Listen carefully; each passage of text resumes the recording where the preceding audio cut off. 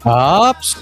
You know, muli po, live na live na live tayo, Coach Oli News PH. Yes, I'm back sa live po natin.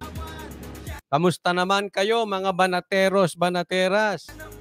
Nakakapagpahinga po ba kayo ng maayos? Nagkaroon ba kayo ng uh, kapag papalang-palang linggo? Blessed week nga, ika nga. Kamusta ang inyong Holy Week? Tapos na po ang bakasyon. It's work. Uh, it's back to work. it's back to work and banatan na. At syempre, syempre, syempre, bukas. Yes, bukas na po. Banateros Brothers sa SMNI. Tapos na po ang pag-aantay. Bakbakan na po muli. Umanda kayo. Mga tambaluslos ng bayan na ito. O boto po kayo ha. Pag-uusapan din po natin ito. O, kasalanan ba ng Davao Police if hindi mahuli si Pastor Kibuloy? Ah, kayo kayo po ang magsabi ha. Pero pag-uusapan din natin yan. May pagkukulang nga ba ang pulis Davao? O Davao Police?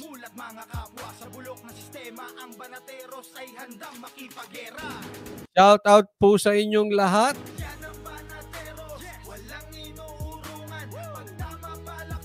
Tapos na po ang maliligayang araw ng mga tambayuda. Tuloy na tuloy po ang SMNI. Tuloy na tuloy ang Banateros sa SMNI. Sabi ni G.I. Joe Tags, Boss Oli, musta po? Bukas na ba ang live? Yes po, bukas na bukas po tayo, SMNI. SMNI, Banateros, SMNI, 8 p.m. Live po. Yes po, sa magtatanong kung live po. Yes po, live po. Ayan.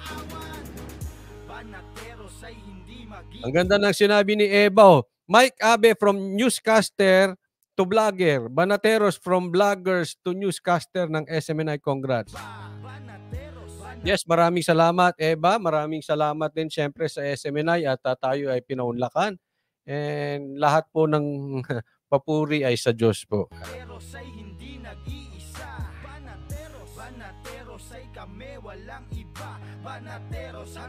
Sabi ni Leo Royo, he is not a criminal. Why they want to arrest him? Something very suspicious about his arrest. Ako sobra, sobra po. Ang usapin po ng uh, ah, SMNI, ang usapin po ng Pastor Kibuloy is a political issue. Ha? Ginigipit. Bukas tatanungin ka kayo mga congressman. Yang paghahabol nyo ba kay Pastor Kibuloy ay inggit? Kasi kung inggit lang kayo, pumikit na lang kayo, bukas lilipas din yung inggit nyo.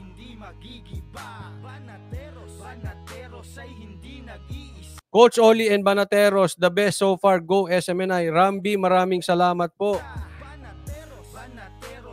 Oy, Spencer Lacalle, shout out naman sa iyo dyan.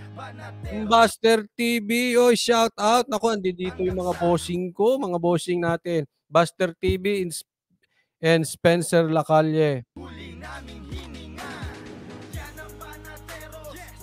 Oh, wag po kakalimutan subscribe and like bago po tayo magsimula.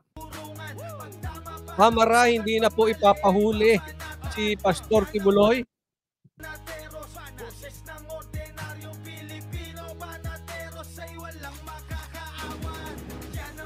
Meron akong tanong sa inyo. Ah, Kay Spencer at saka Buster TV. Na-renew ba ng kontrata yung, yung uh, recruiter, yung bayaram recruiter na vlogger, na hindi vlogger yung troll yun kasi mawawala yun, susulpot, mawawala, susulpot.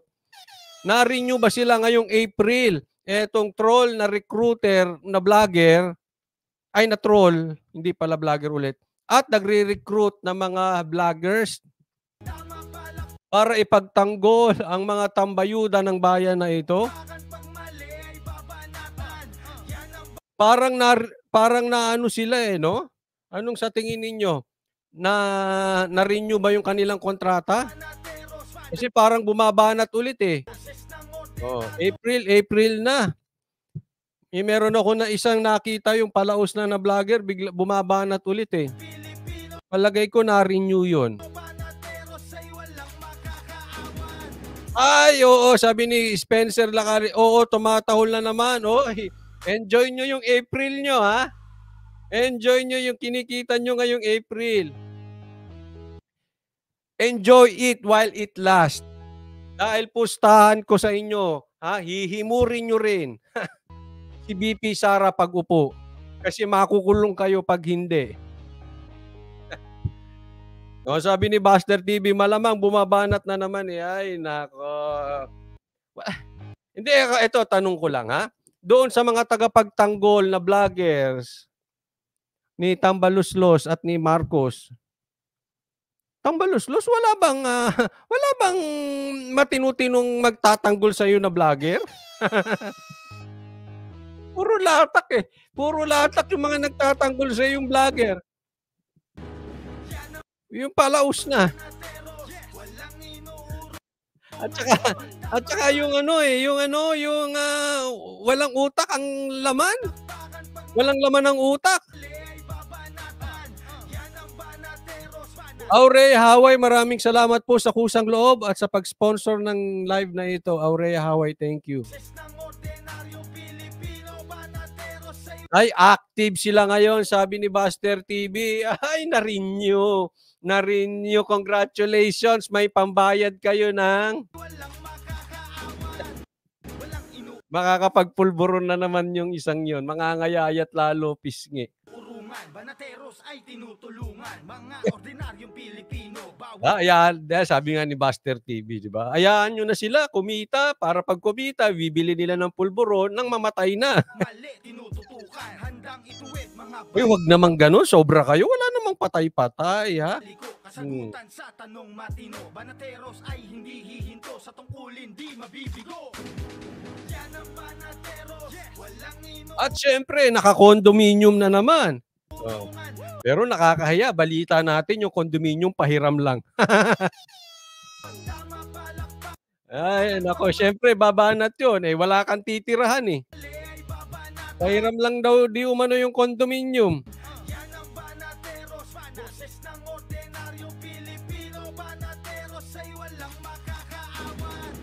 Sabi ni G.I. Joe Tags, kasi namigay ng ayuda, nanira pa kay Ty Diggs at BP Sara dito sa Mindanao. Ay, si, sino yan?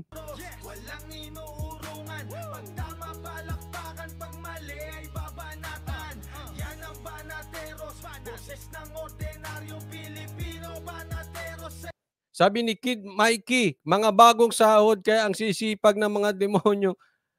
Tamba vloggers.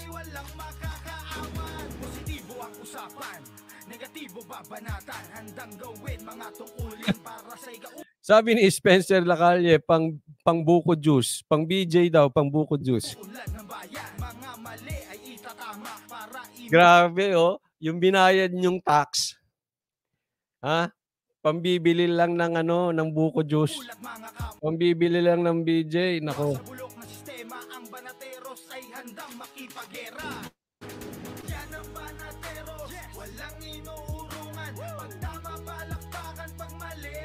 Bukas po 8 o'clock live po kami Banateros Brothers sa SMNI. Live po 8 p.m. Yan, Teresita live po. Na-renew ang kondo, sabi ni Marvin. Kaya nga eh, hindi, pahiram naman daw. Hmm. Grabe, wala silang makakuhang vloggers na matinu-tinu, ano? Mana-mana kung ano yung leader, ganun din.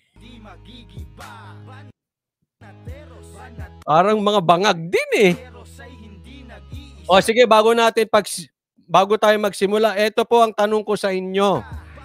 Boto po kayo sa pola at uh, tanungin na rin natin yung mga manunood ng replay. Diyan sa Facebook, kung manunood man kayo nito, ay pag-usapan natin ito. Gusto kong malaman ang inyong side. Okay? Kasalanan ba ng Davao Police if hindi mahuli si pastor? Kasi ganyan yung pinuputak na palangkera ng, ng kongresista eh. Na, eh, bakit hindi di nyo mahuli-huli yan na si Pastor Kibuloy, nandyan lang yan sa Davao. Sige nga, anong sa tingin ninyo? Kasalanan ba ng Davao Police? Bago po tayo magbigay ng komentaryo. Oh, 8% yes. And 92% no. So ito po ay malaking halimbawa na may mga nanunood na mga bashers na may 8% eh. Oh. Natutuwa sila pagka may kapalpakan ng uh, sinasabing Davao Police. So may 8% na bashers na nanunood. Pakitago lang po ang inyong wallet, baka manakawan kayo. Alam nyo naman pagka-addictus. Pag nagpupulburon, magnanakaw yan. Tago nyo wallet ninyo, ha? Oh, baka manakawan po kayo.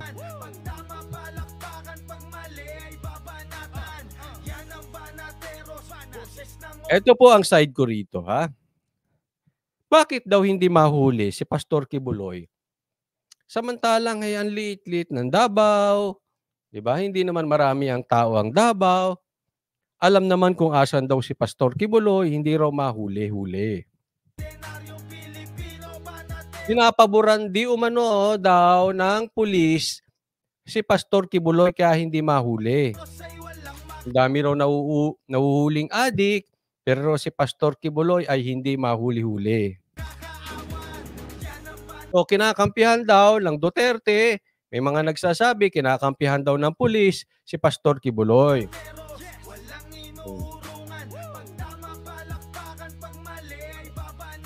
Sabi naman ni Buster TV, tamad mag-serve ng warrant ang Sergeant at Arms ng Senate. Hindi, balagay ko, dapat isama nyo si Ontiveros. Yung mga babaeng naghahabol kay Pastor Kibuloy, isama ninyo si Risa Ontiveros. At saka si Castro, isama nyo. Kahabol nila kay Pastor Kibuloy, isama nyo, baka mahuli.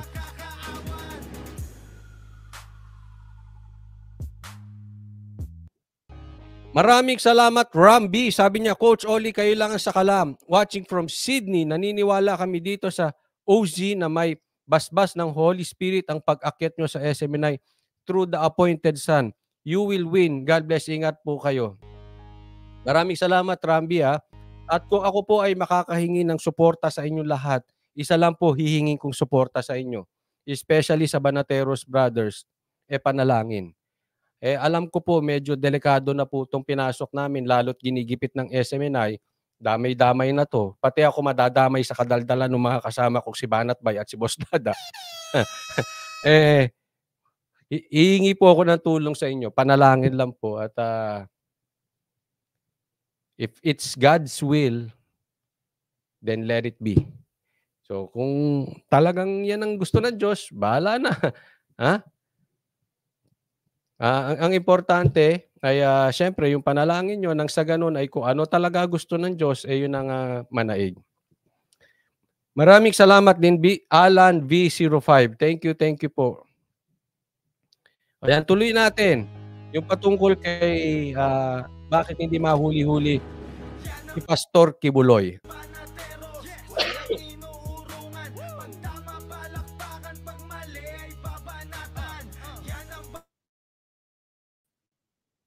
Sabi ni Spencer Lacalle, bakit pulis sa sinisisi nila eh trabaho ng Sergeant at Arms ng Senado mag-serve ng warrant?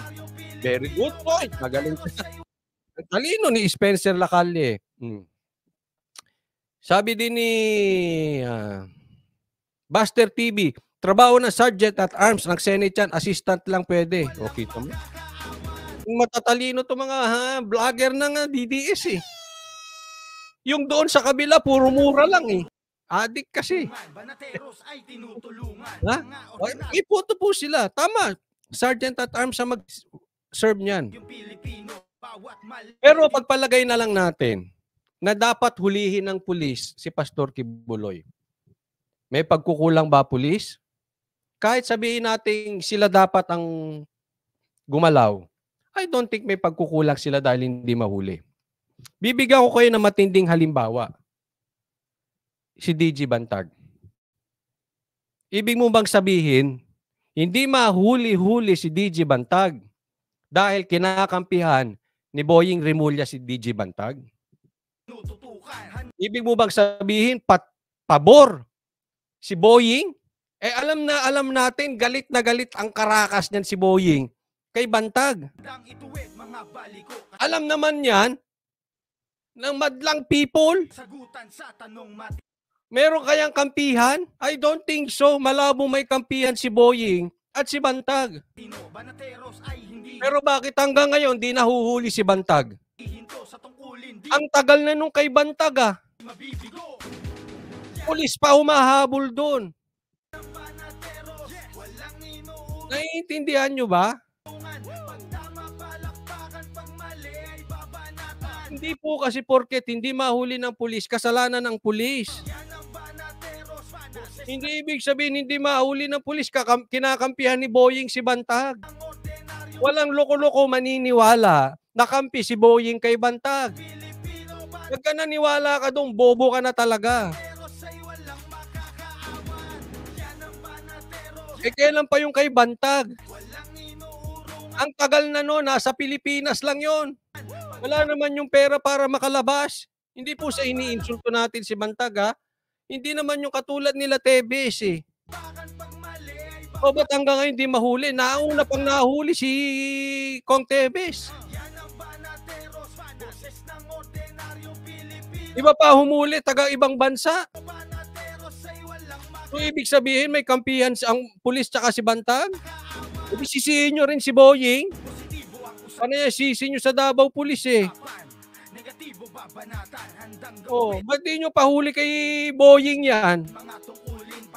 Ikauunlad ng bayan Mga mali ay itatama para imulat mga kapwa Sa bulok na sistema ang Banateros G.I. Joe Tags, kailan ba ipapalabas ang video ng pulburon? Di ko rin alam. Kasi kung may video yan, dapat ilabas na. Di ko alam, di ko naman hawak yun eh. Hindi ako may hawak. Banateros Ibanat ba yata? Walang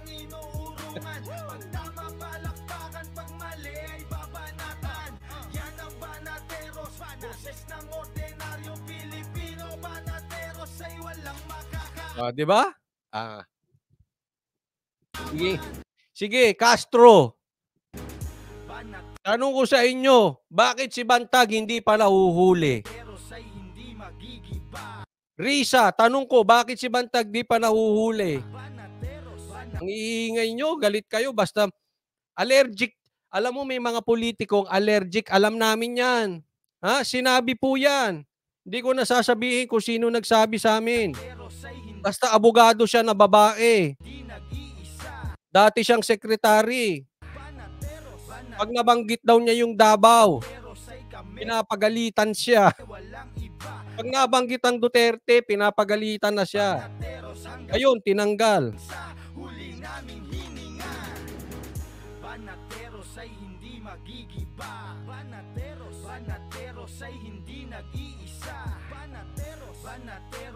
Kami walang iba Banateros hanggang sa So, huwag kayong magmagaling Castro, ha? huli naming hininga Huwag ka nang umepal-epal. Hanggat hindi mo nasasagot, bakit hanggang ngayon si Bantag hindi pa nahuhuli? walang inuurungan Pagtama Huwag ka naninisi ng pulis. It's not that easy. It's it's only easier than said than done. Madali lang sabihin sa Tagalog. Mahirap gawin. O, sabi ni Leo Royo, magkahagulo ang Pinas pag hinuli nila si, Ban- hinuli nila si Bantag. That's for sure. Ako, alam mo ha, honestly, ang inaantay ko hulihin nila si Tatay Digong. Alam nyo kasi sa isang banda, nauunawaan ko po si BP Sara. Di ba? Si BP Sara paapol-lakay, apol-lakay. Banateros, walang Parang nakagitna po si ah, si BP Sara sa admin at sa oposisyon. Nauunawaan ko po si BP Sara kasi hindi po siya parang si Lenny Robredo na kontra ng kontra sa administrasyon nang siya ay Vice President. Hindi po magandang tingnan na kontra ng kontra si BP Sara sa admin. Especially part po ng unity si BP Sara.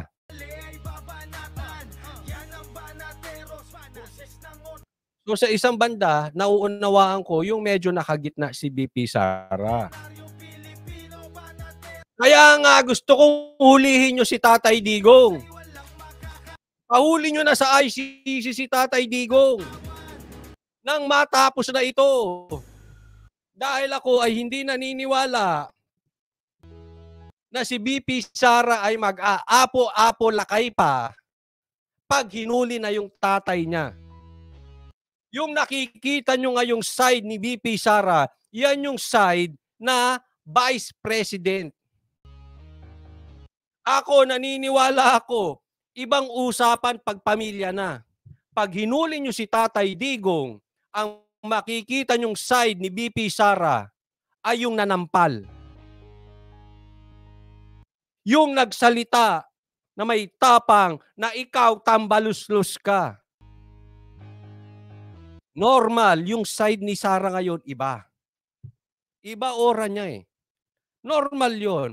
He, she is very, very professional. So please lang, hulihin nyo na si Tatay Digong. Huwag nyo na ipagpabukas. Pwede ba ngayon na?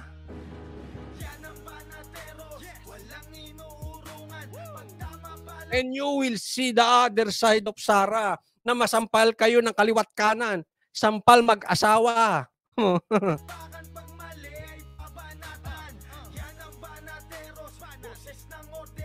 Sige na, nang matapos na ito.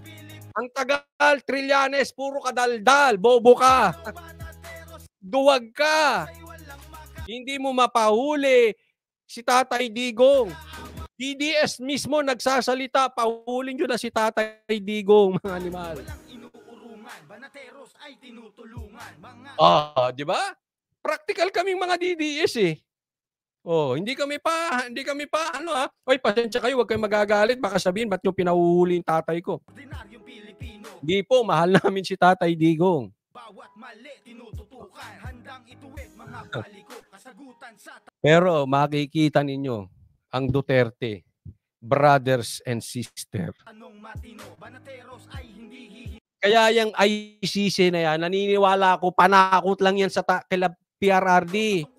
Panakot lang yan kay Tatay Digong. hindi mabibigyan Hindi nyo kaya yan. Kaya nga kita mo mismo, si Baste, nagbigay pa ng war on drugs sa Davao. Kung takot ang Duterte dyan sa ICC, hindi na po gagawin ni Baste Duterte yan. Kaya sa katunayan po, believe na believe talaga ako sa tapang ni ni ano Baste. Kung ano yung may issue, yun pa sinasalubong. O sige, ICC kayo. O sige, war on drugs ako sa Davao. At speaking of war on drugs sa Davao, pag-usapan natin yan ng masinsinan bukas. Huwag ngayon. Dahil ang first guest ng Banateros Brothers sa SMNI live 8 p.m. bukas none other than turun, turun, turun. Ano turun? Gutom na ako, hindi pa ako nagme-merienda. Si Baste mismo. Pag-usapan natin yung war on drugs. Ang kukulit nyo kasi mga adik kayo eh. Sinabi nang lumayas kayo dito, yan, namatay kayo. Layas kayo, kung adik kayo, layas kayo dyan. Doon kayo sa ibang lugar na mga adik din yung mayor. Huwag kayo sa Davao. Eh, takat ko, hindi ba naman kayo nuknukan ng tanga? Ang dami naman pwedeng lugar para ikaw mag-adik. Sa Davao pa. Inaamo ko yung mga vloggers na nagre-recruit doon kayo sa Davao mag-adik. Kung magkaalaman, ang tapang nyo.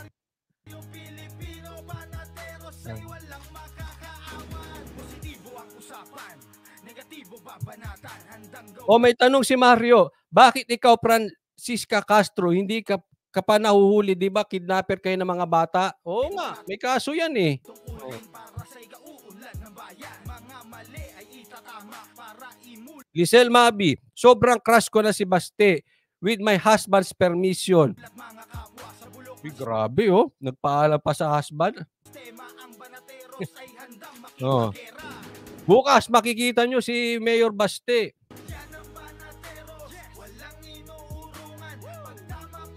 Wala puro pag-usapan natin. Unang topic ng Banateros Brothers tungkol sa bangag. Galit kami sa adik. Kahit sa vlogger na adik, galit kami yung ganon. Galit kami sa ganon. O wag bago tayo mag uh, magpatuloy, huwag kalimutan yung mga DDS diyan na, na hindi pa nag-subscribe kay Coach Oli, subscribe po kayo ha. Sabi ni Lisel Mabi, iyakan mga bagag bukas. Mag-iiyakan talaga mga bagag sa Banateros. Ayaw namin ng adik eh. Nag-aamon nga ako lahat ng vloggers eh, na political vloggers eh. Oh, mag-drug test tayo. maraming sa maraming sasabit sa kabila. Nako ta, tama ka Dansky.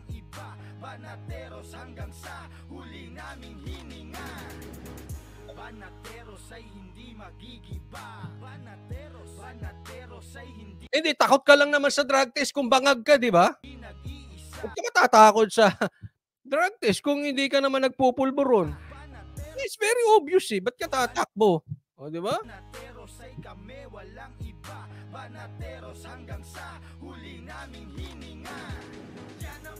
Sabi ni Isabel, honestly, I already lost my excitement on that pulburon video. Sa sobrang tagal, binigyan niya ng pang-counter yung laman ng video na yan. I agree with you. Ako rin. Wala akong excitement dyan sa video na yan. Pero kung yung iba excited dyan, hindi okay lang. Mag- ma-excite kayo dyan. Karapatan nyo yan.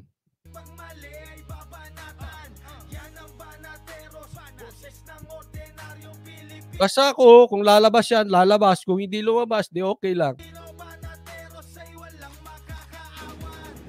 Ay, sikat kayo coach, mga banatero sa opisina asawa ko, lahat ko engineers niya pina. Oy, uh, shout out sa mga mga engineers na co-engineers ng uh, office mate ni Lisel Mabi. Shout out sa inyo diyan ha.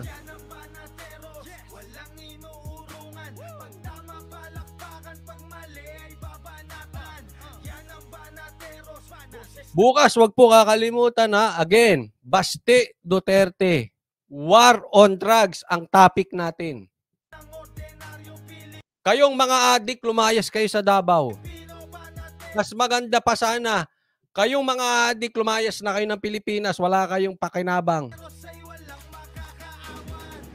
Kayong mga vloggers na adik, lalo kayong walang pakinabang, paano ka naging uh, uh, dapat ikaw ay uh, naghihikayat na magandang gawain, adik ka pa.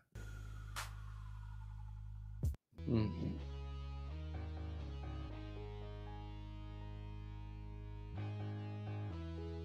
Basta ako, isa lang, ayoko ng leader na adik. Lourdes Villabiray, maraming salamat po. Sabi niya, God bless you, Banateros Brothers. Thank you, Lourdes Villabiray. Alam niyo kung ba't ayaw ko ng adik na leader? Yung sarili mo nga, hindi mo kayang kontrolin. Wala kang self-control. Magiging leader ka pa. Okay lang kung dati na.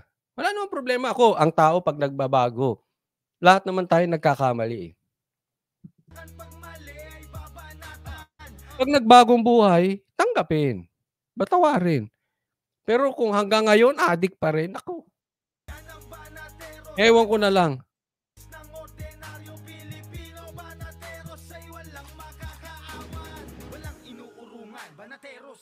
Sabi ni G.I. Joe Tags, Baste is Banateros, not for sale. Correct. Mga ordinaryong Pilipino, bawat mali tinututukan. Handang ituwid mga baliko, kasagutan sa tanong matino. Banateros. Sabi ni Leo Royo, mahilig sa propaganda ang supporters ni BBM. Ngayon takot takot sila sa pulburon video na di pa lumalabas. Ay hindi hihinto sa tungkulin, di mabibigo.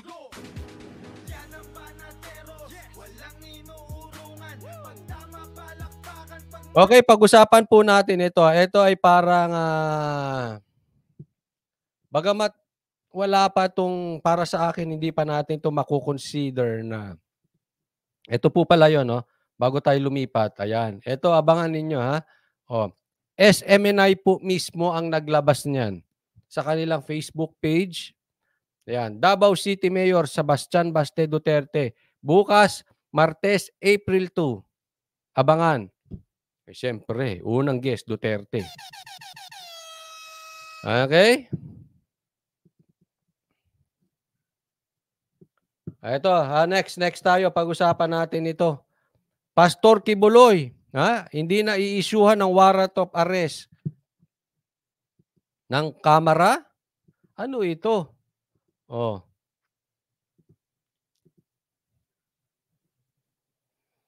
Ito po ay post po sa Facebook page.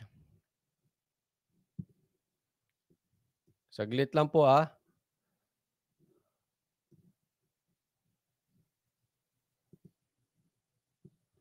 Ayan. House give, gives up on Kibuloy.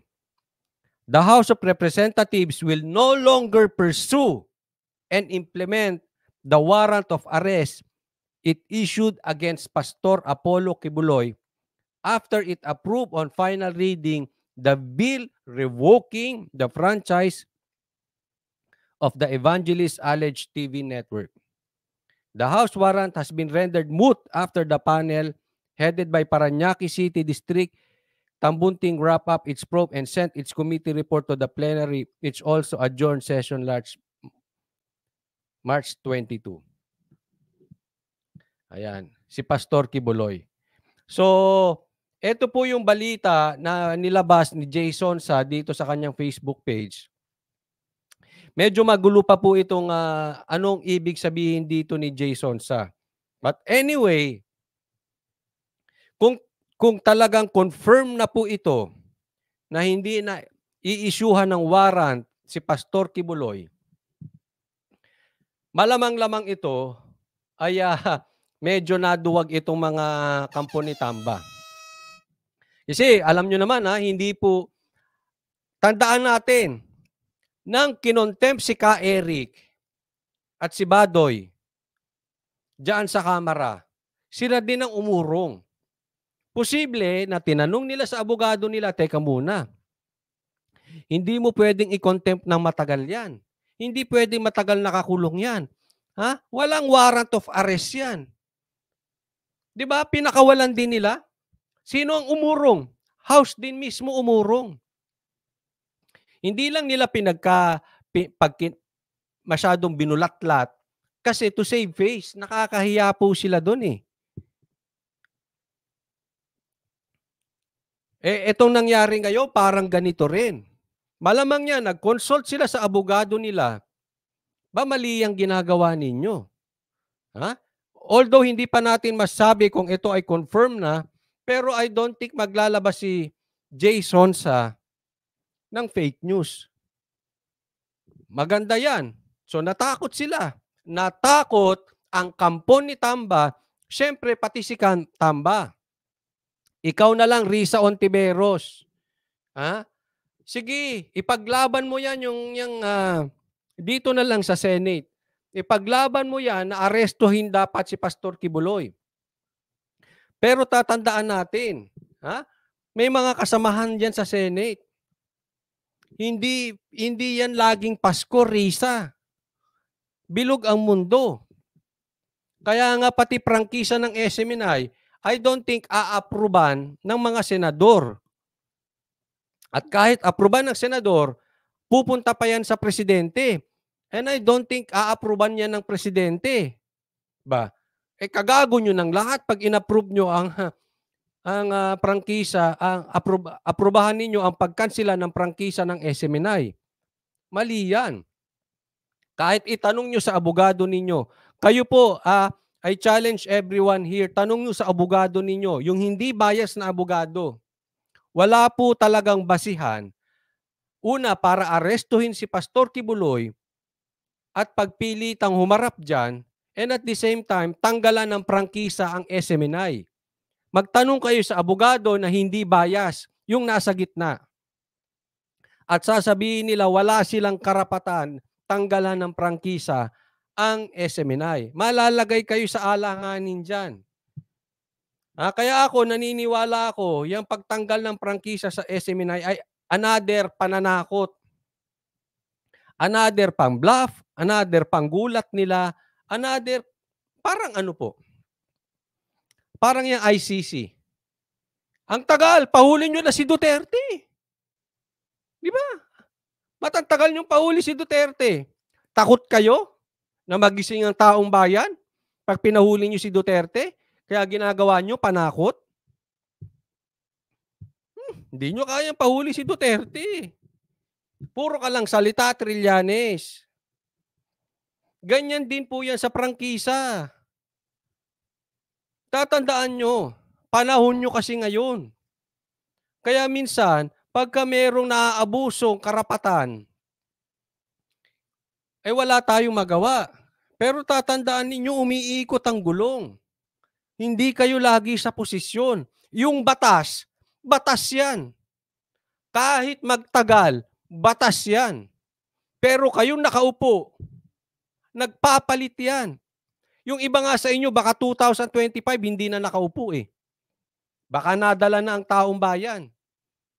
Well, anyway, kung talagang uh, yung iba, tingin nila, hindi na sila makakaupo sa 2025 dahil matatalo sila, mararamdaman naman nila yan eh. Anong gagawin? Yung iba dyan, mangungurakot, magnanakaw ng marami para sakaling matanggal sila sa 2025. Marami na silang nakuligbat. Meron nga tayong nababalitaan, matatanggal nung sa madaling panahon. Kaya ang pagnanakaw, grabihan. O wala akong binabanggit kung sino ha, kayo na lang humusga. Sino ang nakabarong nasa garang magnakaw kasi baka matanggal. Mabuti nang nakauna ng pagnanakaw bago matanggal. Dahil ako naniniwala, marami ng dyan sa kamera ay hindi na ulit makakaupo after the 2025 election.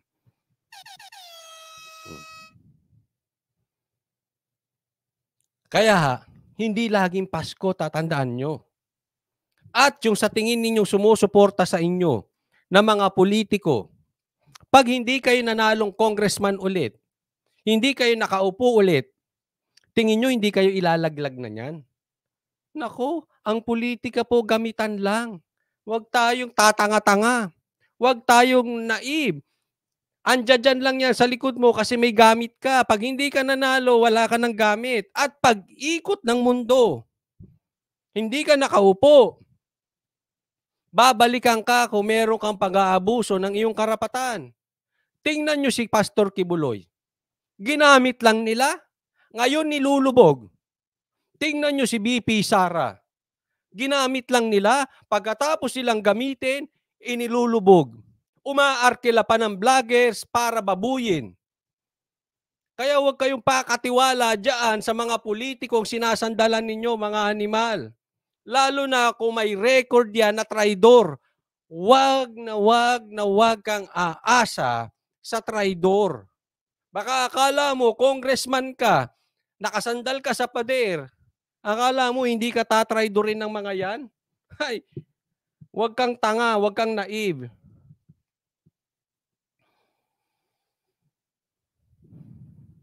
Kung nagawa nila sa SMNI, kay Pastor Kibuloy, at higit sa lahat nagawa nila kay Sara, ikaw pa congressman ka lang? Ewan ko sa inyo. Oh. Ikaw, vlogger ka lang? Akala mo ipagtatanggol ka niya pag wala kang pakinabang. Bukas, labas lahat ng libel cases mo. Real talk po yan. Baka akala nyo pinagtatanggol nyo yung mga vloggers dahil para wag mabuhay yung kaso. May pakinabang ka lang ngayon. Pero tandaan nyo, ang batas-batas yan. Kahit magpalit-palit ang gobyerno. Paglubog niya, sinasandalan yung politiko. Kasama kayong lulubog. Tingnan ko. Tingnan ko kayong bumababoy kay Duterte. Higit sa lahat kay Sara. Pati personal niya at pamilya binabanatan nyo. Tingnan ko. Kung hindi kayo, tingnan ko kalalagyan nyo. Hmm.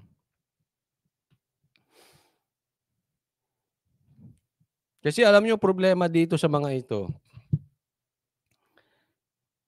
Yan po ang kina-question dito, yung grave abuse of power. Yung pag-aabuso ng kanilang kapangyarihan. At ako'y naniniwala, magalit na kayo kung magalit sa akin. But this is my opinion. Ang paggigipit nyo sa SMNI at kay Pastor Kibuloy ay hindi po talaga legit. Yung panggigipit nyo sa kanila ay hindi po kriminal ang paggigipit nyo sa kanila ay political in nature. And I'm very, very positive about this, in my opinion. At uulitin ko to bukas sa SMNI para tumatak sa mga ulo ninyo. Abangan nyo, uulitin ko to. Yung paghabol nyo kay Pastor Kibuloy at sa SMNI ay dahil sila ay makaduterte. Kung binabanatan ni Pastor Kibuloy si Tatay Digong, kung binabalatan ng SMNI si Tatay Digong, hindi tinatanggalan ng prangkisa ang SMNI. Kaya po yaan ang aking matagal na basihan na na ito ay hindi talaga para sa tao. Hindi dahil pinagtatanggol nyo risa ang kapakanan ng mga naapi. Kung hindi, dahil pinag tatanggol nila ang Duterte. Huwag nyo kang kaming gawing tanga. Ang kaya nyong gawing tanga yung mga vloggers nyo.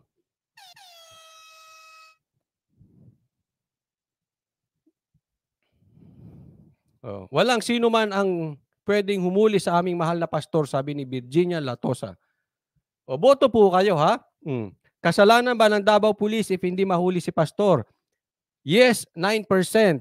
No, 91%. So ibig sabihin may 9% ha na bula ang uh, bula ang tao rito. Bashers. So mag-iingat po tayo ha. Hmm.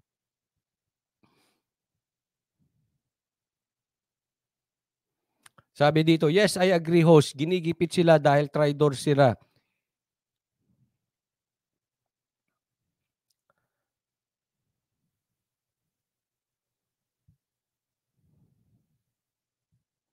Sabi ni Mary Jean Castillo, baka sila ang balikan ni pastor ng kaso ng moral damages. So, I hope itong uh, binalita ni Jason sa ay uh, magandang development ito.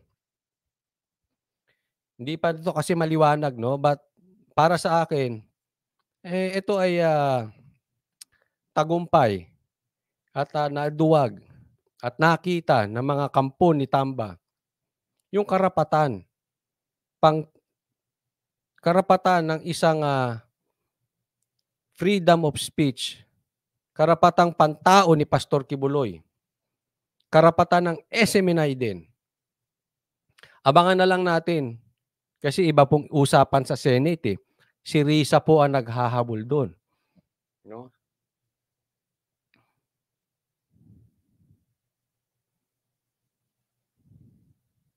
Sabi ni Juan is the one. Tama kami. Tanga kayo, kaya nabudol kayo.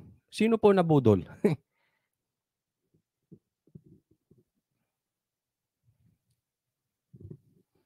okay, tingnan nyo naman po itong isa panto, ha? Isang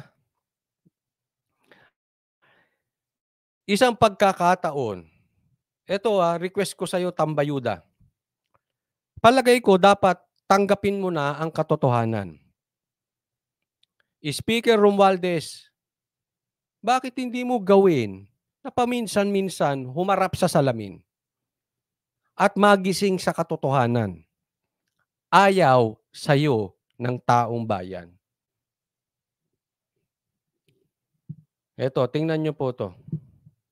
Pag hindi pa naman nagising dito si Tambayuda, ewan ko na. Hmm.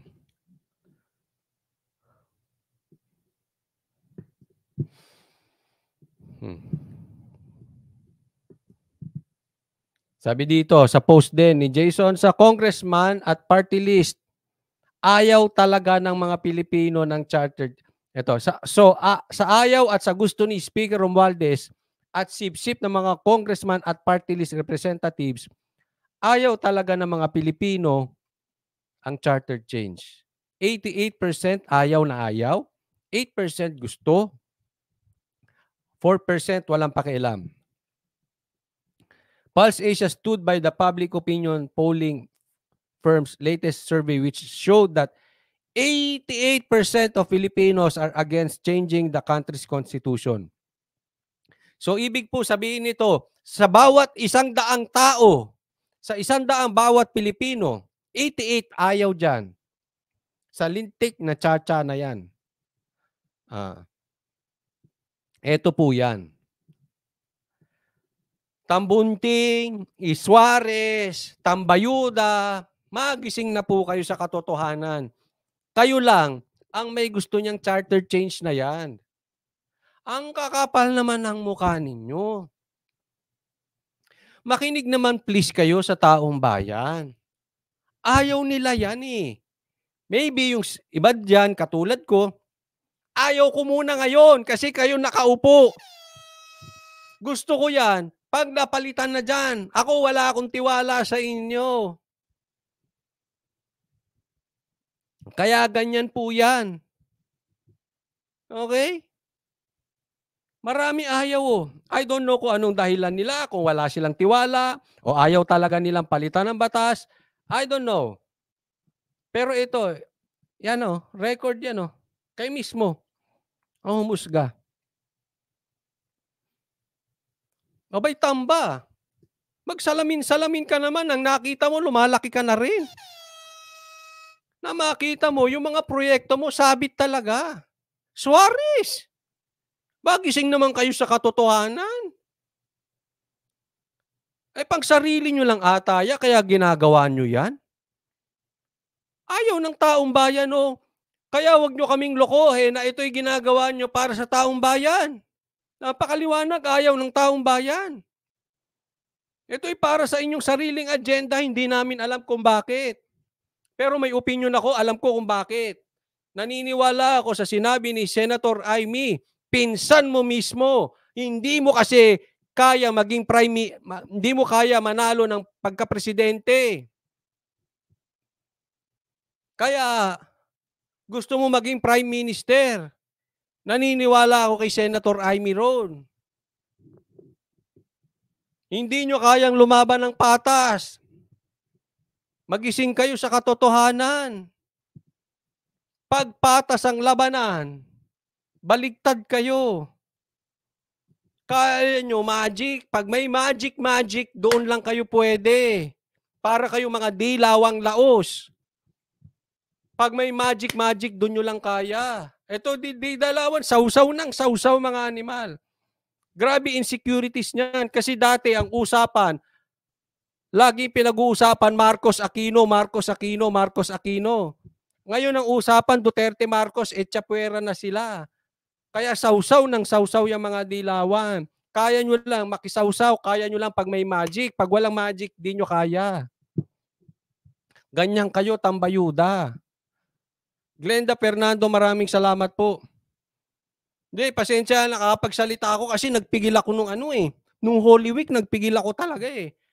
Magla-live ako, hindi, wag muna. Pag, palagpasin mo. Hindi, gusto, alam mo ba ilang beses, bubuksan ko na yung mic ko, yung camera. Hindi, wag na lang. Spend time with the family na lang. Ay, sige, magla-live ako. Tapos naisip ko, hindi. Kaya yung, yung, yung, yung ano ko, yung bakbak ko, gigil na gigil ako. Dami kong gustong sabihin. Glenda Fernando, maraming maraming salamat. Hmm. Keep up the, fi- the fight, coach. Kayo na lang ang pag-asa namin continuously echo the real deal. Sobrang kapal ng Congress. Thank you, thank you. Eh, ewan ko itong mga to, hindi magsalamin. Ayaw ng taong bayan dyan sa tsacha na yan, mga lintik kayo. Nai, nai, naipon yung bakbak ko, kaya ko, hindi ako nakapag-live eh. No? Ayaw humarap sa salamin nitong mga ito. Ako ha, pag nakikita ko ay naayawan na ako ng taong bayan, tapos pipilitin ko, yung gagawin kong hinog sa pilit, ewan ko, madidiri siguro ako sa sarili ko. Kasi kita naman nila ayaw ng taong bayan yung mga pinaggagawa nila. Hindi ko alam saan sila kumuha ng kapal ng muka para hindi nila pakinggan yung pulso ng taong bayan at idiretso pa yung lintik na tsatsya na yan. Pakapala na lang ng muka. Hanip talaga tong mga to. Kapal ng mukha ninyo. Hindi ko alam kung saan nyo nakakuha yan. Ano yun? Namanan nyo ba sa tatay at nanay nyo yung kakapalan ng mukha ninyo? O kasalanan nyo dahil uh, ay, lumaki kayong spoiled.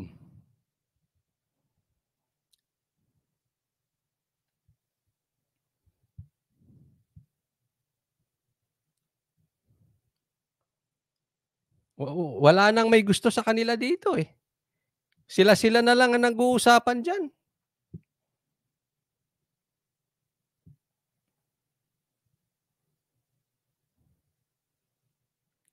Cool ka lang, sabi coach. Ma-shoot yung mga yan sa banga. Oh, bukas, babakbakan ko yan, mga yan. Hmm. Sabi naman dito ni Fe,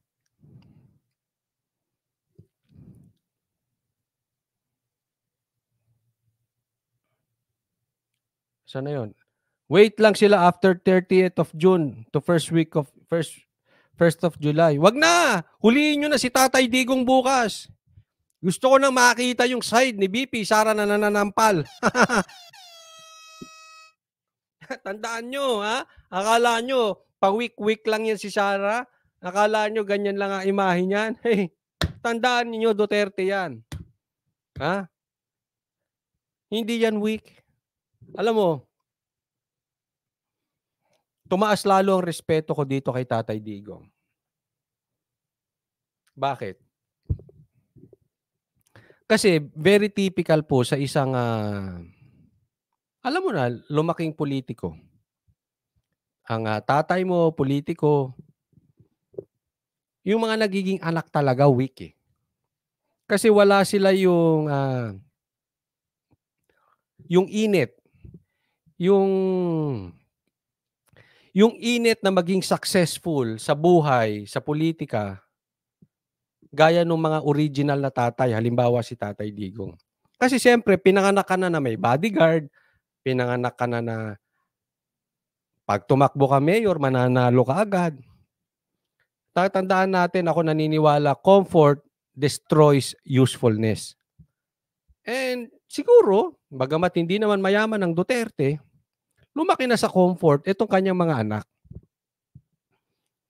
Pero ang ganda ng training ni Tatay Digong sa kanyang mga anak.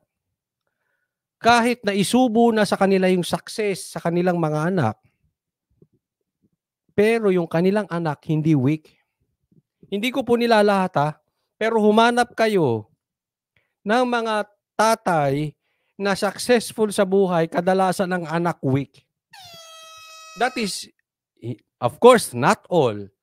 Pero marami po. That is typical sa isang mayaman at powerful na tatay. Yung anak weak. Anong meron sila na nakuha sa tatay? Pamilya lang. Apelyido lang. That's it. Very weak. Not a good leader. Tita Liza, maraming salamat po. Yes, kalma, kalmado, kalmadong, kalmado lang. Thank you, thank you, ah, Tita Liza. Kaya bilib ako dito kay Tatay Digong kasi yung mga anak niya, kahit na hindi first generation na naging successful, namana na nila yung pagka-Duterte, strong pa rin. Ibig sabihin, nasa training po yan ng tatay. Eh marami nga dyan eh. O, hindi na ako magbabanggit ng apelido. Marami dyan, politiko, tatay, ano anak, adik. Hindi, marami. Hindi lang sa administrasyon ngayon, kahit sa dating administrasyon, dati-dating administrasyon, at sa history ng Pilipinas, marami po yung tatay sikat, yung anak adik. Bakit? Weak eh. Ika nga hindi na train. Hindi na disciple ng maayos. Busy yung tatay, gumawa ng power, gumawa ng pera, yung anak na pabayaan, o sige, saksakan mo ng pera yung anak na yan. Paglaki nun, ano? Weak. Saksakan mo pera yan. Paglaki nun, ano? Adik.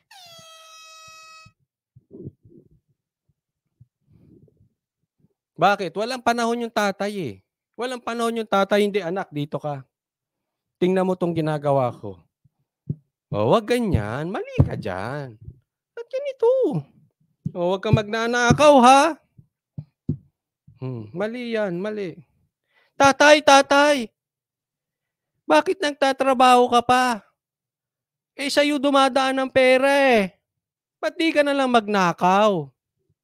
Hindi. Ganito yan, anak, ha? Dapat huwag kang nanakaw. Kaya tayo nasa posisyon, blessing ng Diyos yan. Gamitin natin para tulungan ng taong bayan.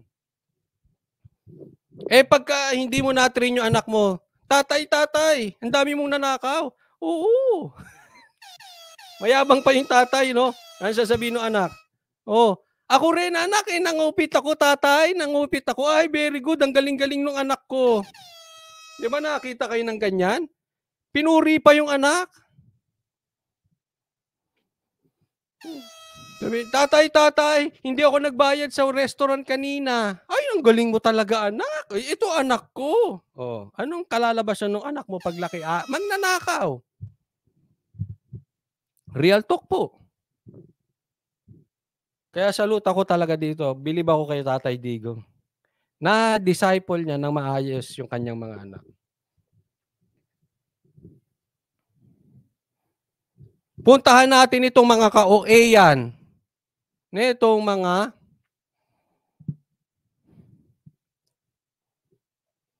mga mga lintik na mga ano na to.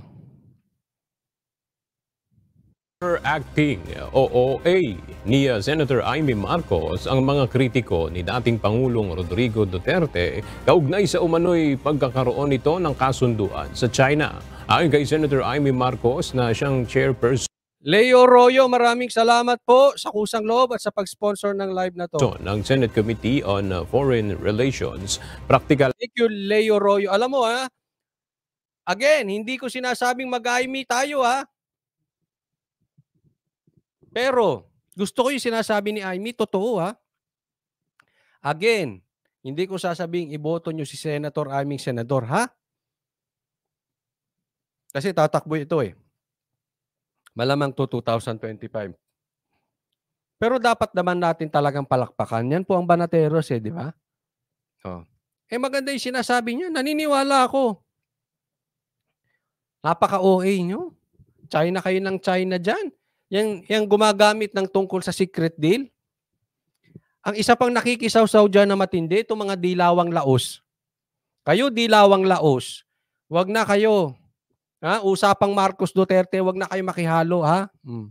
lamang ang nasabing agreement ng dating Pangulo dahil hiniling lamang nito sa Beijing na payagan ang mga Pilipinong sundalo na mag-deliver ng tubig at pagkain sa BRP Sierra Madre.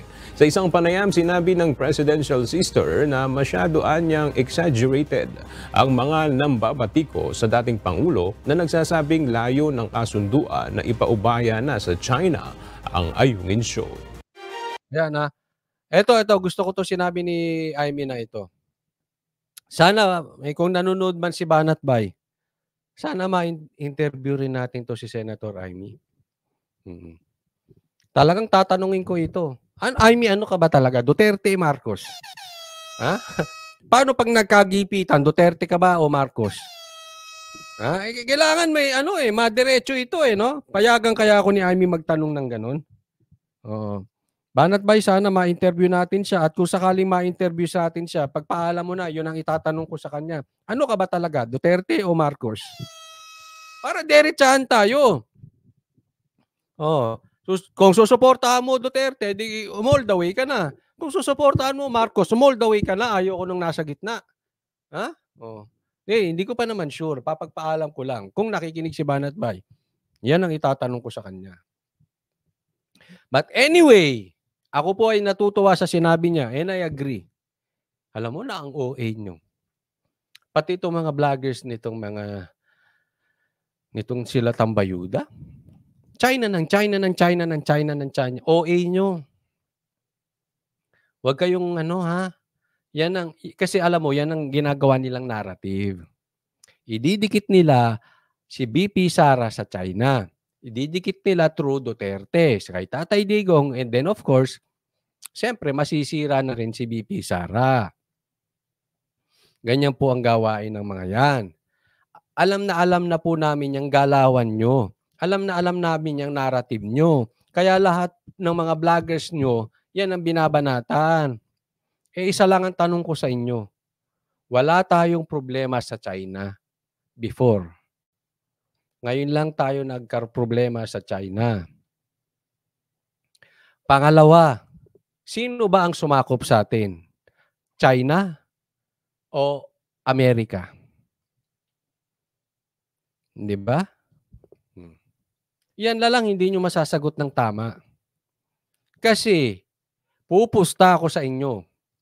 Yang sigalot sa dagat ay hindi rin yan usapin ng sakupan. Usapin po yan ng politika. Nagpapagamit tayo sa lintik na Amerika na yan. Pag upo ni Sara, I will guarantee you all. Tapos ang problema natin sa China. Bakit? Galit lang yan dahil dyan sa lintik na EDCA na yan na ipinangako ninyo, hindi nyo papapasukin. Huwag na po tayo magpaikot-ikot. Eh, andyan yung EDCA na yan eh. Tapos gusto nyong i-please ang mga Amerikano.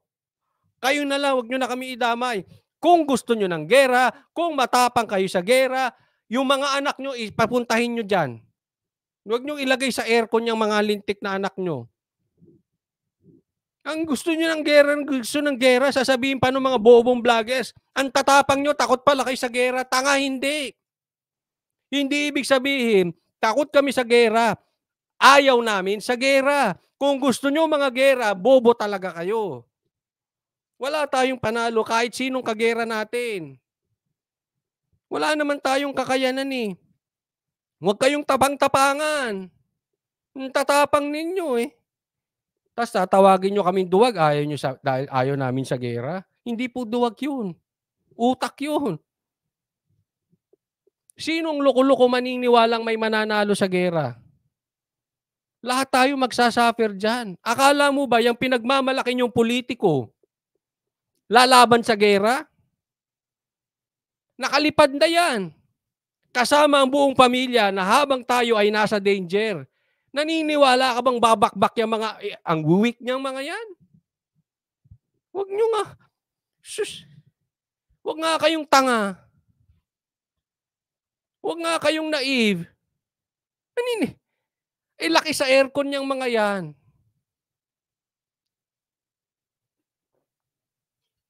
Gera-gera kayo. Kala nyo, tatapang nyo. Ginagawa kayong tanga ng mga politiko ninyo.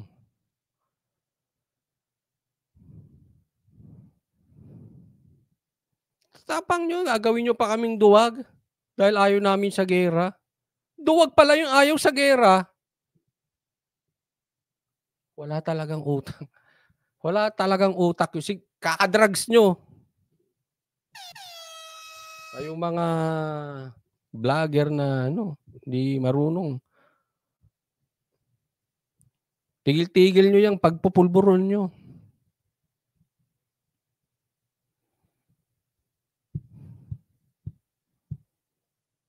Ba't mo ilalagay sa alanganin yung mga anak mo? Gago ba kayo? Tapos sila ang yayaman? Hindi, di, di ba naman katangahan yun? Sila nagpapayaman tapos yung mga anak natin ang ilalagay sa alanganin? Gago.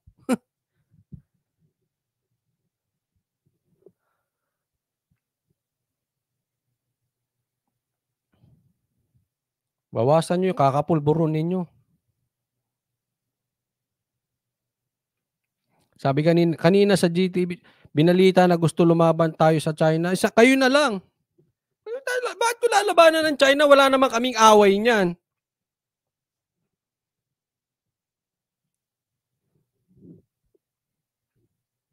Yung ex ko nga, Chinese pa eh. Hindi ba, totoo, ang dami ditong Chinese eh. Ano ba kayo?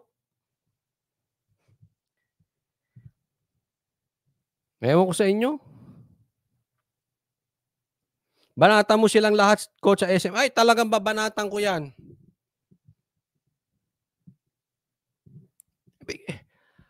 I mean, hanggat sa nakaupo si Tatay Digong, buong Pilipino ayaw sa gera.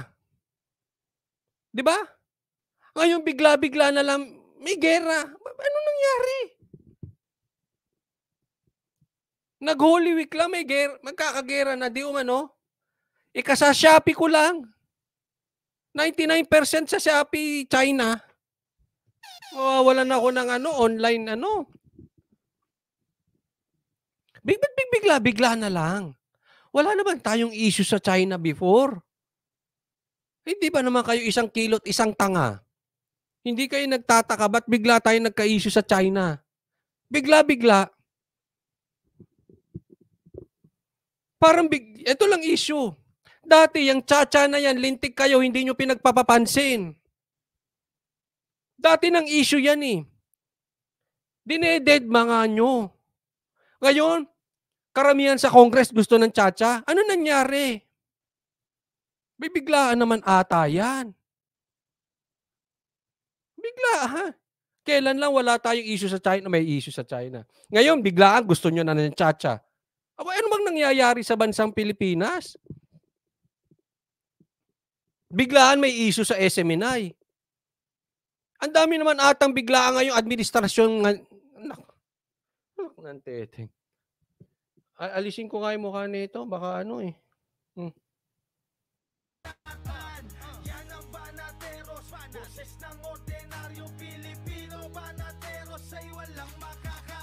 Sabi niya si Boy, si Boy Raptor, kinawawa ni Boss Dada kagabi, nagbabasa lang. Yan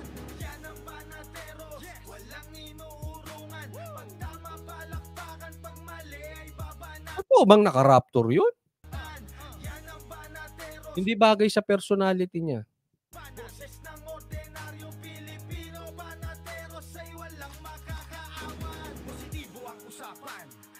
Di ba? Kaya ito, itong China na ito, alam mo tong issue ng China nito?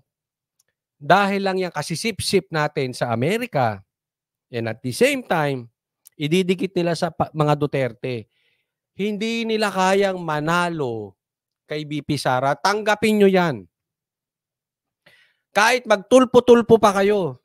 Negatibo babanatan Handang gawin mga tungkulin Para sa ikauunlad ng bayan Mga mali ay itatama Para imulat mga kapwa sa Baines Lori, maraming salamat po ah. Yan, from Japan. Thank you, thank you Baines Lori sa kusang loob at sa pag-sponsor ng live na ito. Sinasabi pa na isa pa tong vlogger na ito. Sabi daw, kinakabahan ang DDS kay Tulfo. Tanga talaga. Whether you like it or not, magiging presidente po si Sara. Tanggapin nyo na yan. Hindi po kaming DDS ang kinakabahan kay Tulfo. Kasi daw, tumaas daw ang ah, survey ni Tulfo na unahan daw niya si Sara.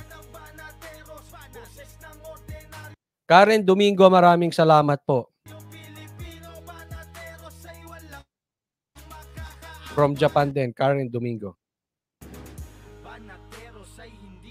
Alam nyo po, hindi DDS ang kinakabahan dyan kay Tulfo.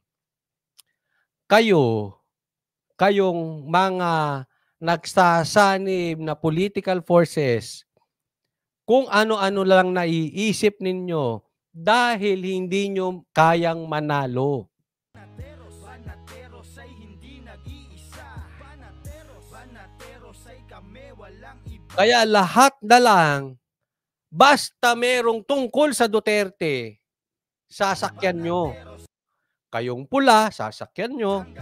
Kayong dilaw, sasakyan nyo. Hindi, kita nyo.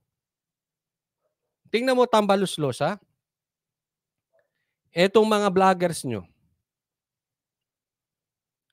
Nilalaglag ka na tambaluslos. Anong ibig sabihin yan? alam din ng mga vloggers nyo na hindi kayang manalo ni Tambayuda. Kaya ang bukang bibig nila, tulfo naman. Para kayong mga bata na naghahanap ng rest back. Hindi nyo kaya si BP Sara. Hindi kami DDS ang kinakabahan. Kayo, ano anong naiisip ninyo para maitapat kay Sara? Para mayroon kayong pantapat sa Duterte. Kayo po ang desperado. Nilalaglag nyo sa mga salita nyong yan, nilalaglag nyo si Tambayuda. Para nyong sinasabi, yung ginodiyos nyong politiko hindi kayang manalo kay Sara. Kaya nagsusumbong kayo kay Tulfo. Kaya ginagamit nyo si Tulfo.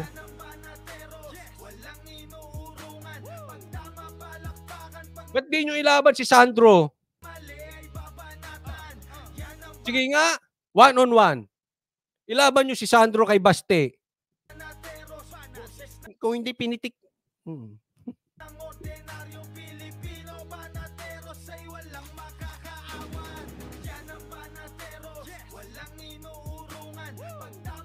Tama O sige nga, Sandro versus Baste.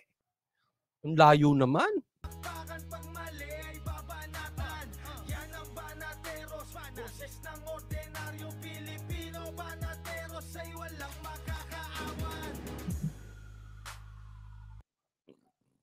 Mga sumbongero to mga to. Tulfo naman naisip. Bukas China naman maiisip. Oh. Bakla daw si Sandro, sabi ni Yolanda. Totoo ba bakla yan?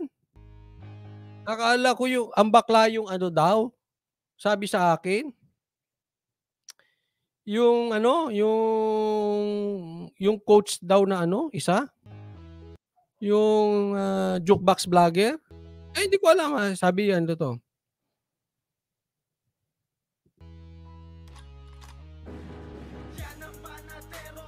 Vlogger, gusto nyo maging... Dating vlogger, gusto nyo maging ano? Presidente, ewan ko sa inyo.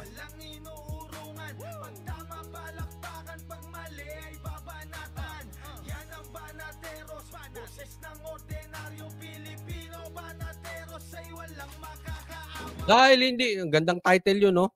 Dahil hindi kayang manalo ni Tambayuda bilang presidente, mga kaalyado, nagsumbong sa vloggers at gustong gawing, nagsumbong sa vlogger, dating vlogger, gustong gawing presidente na si Tulfo. Sabi ni ano, si Sandra lalabang kay Baste, oh my gosh, hahalik sa braso ni Baste yan. Baka imbis na labanan si Baste, halikan pa ni ba halikan pa ni ni Sandro si Baste, no? Pilipino Bawat mali tinututukan Handang ituwid mga baliko Kasagutan sa tanong matino Banat Tatandaan po natin, 32 million ang votes ni Sara, okay? At ang nagpanalo kay Marcos, even yung mga pulahan, they cannot deny that, na ang nagpanalo kay Marcos ay si Sara. Kaya nga insecure sila kay Sara because they know ang talagang ah, mandato, ang talagang suporta ng taong bayan ay nasa Duterte. Alam nila yan. Alam ng mga tagapagtanggol ng Marcos yan. Maraming salamat, Aurea Hawaii. Thank you, thank you po sa kusang loob at sa pag-sponsor ng live na to. Aurea mali Kaya naman, ang kanilang next, dahil nalaman na ng mga DDS yung katrayduran nila, ang next nilang nilalapitan ay dilawan. Mahilig, kasi alam nyo, hindi nila kayang manalo ng sila lang. Nanalo sila dahil sa Duterte. Ngayon, nagising ang mga karamihan ng DDS, nakikipag-tandem naman sa dilaw. Hindi nila kayang mag-isa.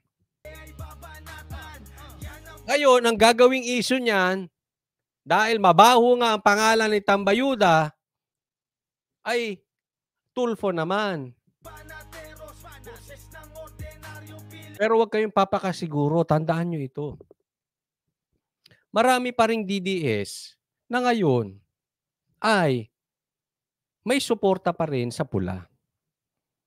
But you cannot be sure yung mga DDS na nakasuporta sa pula will remain na nakasuporta dyan kung bumitaw na si Sara.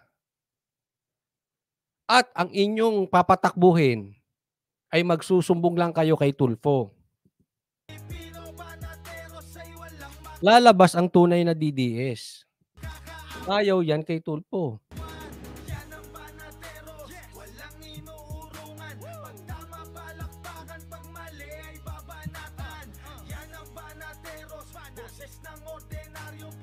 Marami talaga ang Duterte. Alam na alam yung lahat yan. Including the yellows. They know it.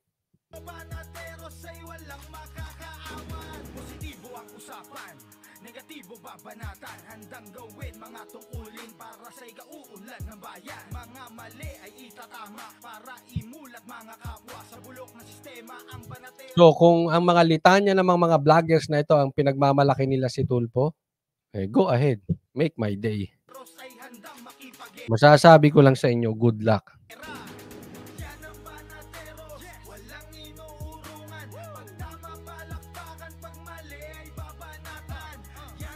Nauto nyo lang yung ibang DDS eh. Ewan ko ba naman tong mga DDS vloggers, nagpauto rin. But anyway, tapos na yon. Hindi ito para sisihin sila. Ang Pinopoint ko lang dito. Hindi pa kumpleto ang suporta ni BP Sara. Pag talagang lahat ng mga supporters ng DDS ay napikon na higit sa lahat, pag nahuli na si Tatay Digong, yung mga totoong DDS, mag-start na yan, lumipat. Bibitawan na nila yung unit team na yan. And you will know the real strength of the DDS, especially BP Sara, pag nahuli si Tatay Digo. So go ahead. Huwag nyo lang pagtagalin. Ako, mas malaki pa tiwala ko. Tandaan nyo to, sasabihin ko ha. Hindi ko sinasabing walang video o walang pakinabang ang video. Okay? Gusto nyo yan, so be it. But ang sinasabi ko lang, mas malaki ang pakinabang ng DDS kapag hinuli si Tatay Digong. More than the video. Kasi po, ang talagang pag-asa ngayon, si Sarah. E tingin nyo, mag stay pa si Sarah pag hinuli na yung tatay niya at kinulong? Nag-iisa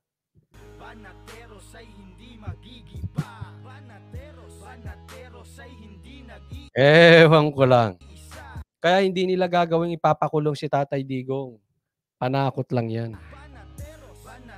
Hindi nila kayang puro lang sat-sat yung mga yan.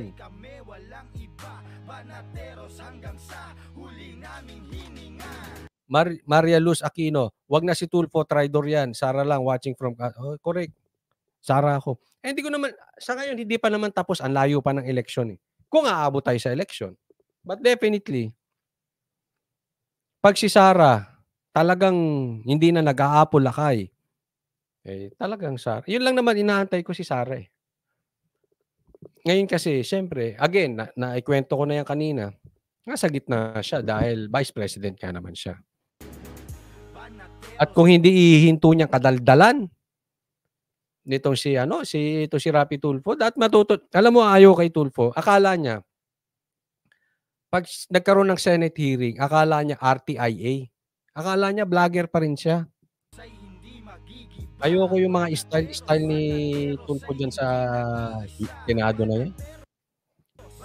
Parang masyadong ano eh.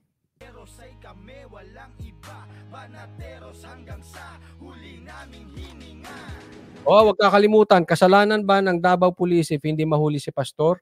O 9 per, 8% ay 9% sabi yes, 92% sabi no.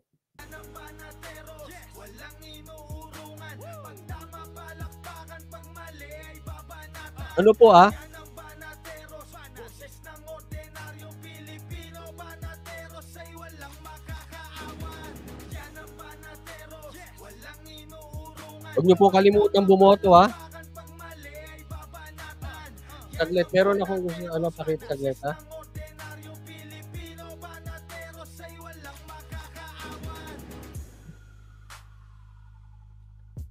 Doon sa manunood ng replay, wag po kalimutang bumoto ha. Saglit lang, meron akong linak. Ano.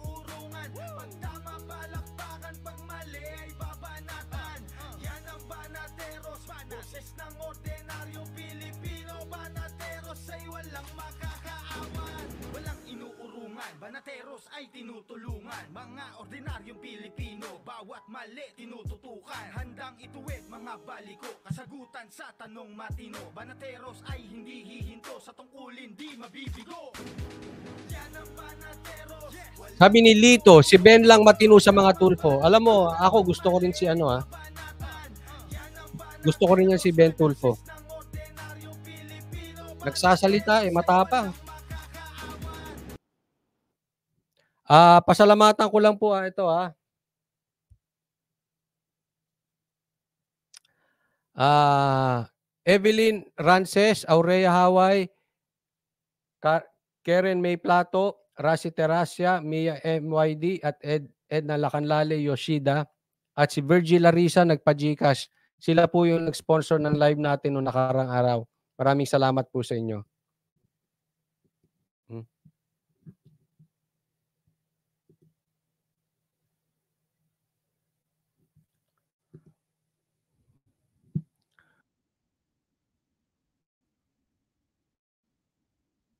Huwag po kakalimutan bukas ha.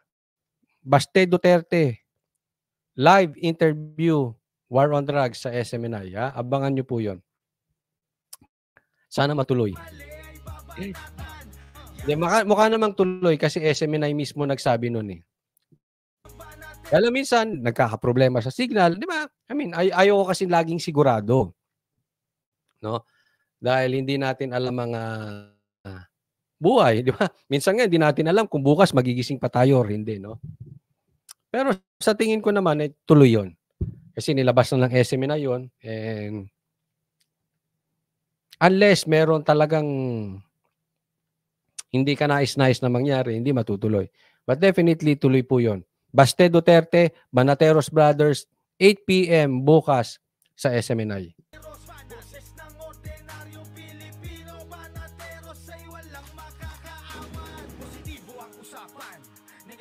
Ba Maraming salamat. Aurea Haway, Alan B05, Rambi, Lourdes Villaviray, Glenda Fernando,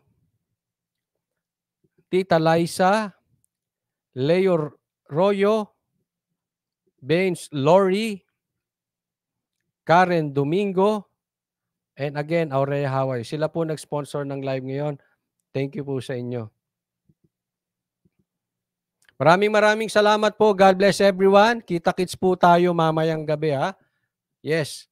Kita-kits po tayo ulit. Magla-live tayo ulit.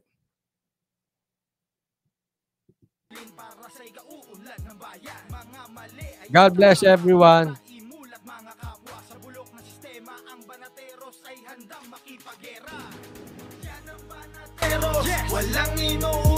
Pag tama palakpakan ay babanatan Yan ang banateros Boses ng ordinaryong Pilipino. Banateros ay walang makakaawan.